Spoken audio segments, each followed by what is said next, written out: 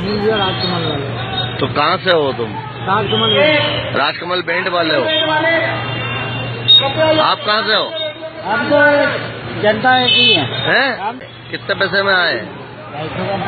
ढाई ढाई सौ रुपये कितना कितनी देर के लिए? एक आधी घंटे का बोला एक घंटे बस।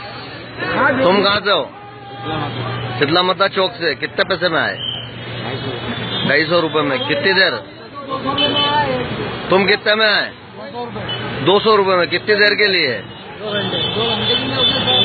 बीजेपी का आज जो है बड़ा प्रोग्राम है राजबाड़े के ऊपर, जिसमें अमित शाह जी आ रहे हैं। लेकिन स्थिति और हालात ये है कि यहाँ पे दो दो सौ रुपए के अंदर चौक से ये लोग लाए गए हैं और इन लोगों को झंडे पकड़ाए गए हैं। बीजेपी के कार्यकर्ताओं की बहुत कमी महसूस हो रही है, ये नज़ारा देखिए आप।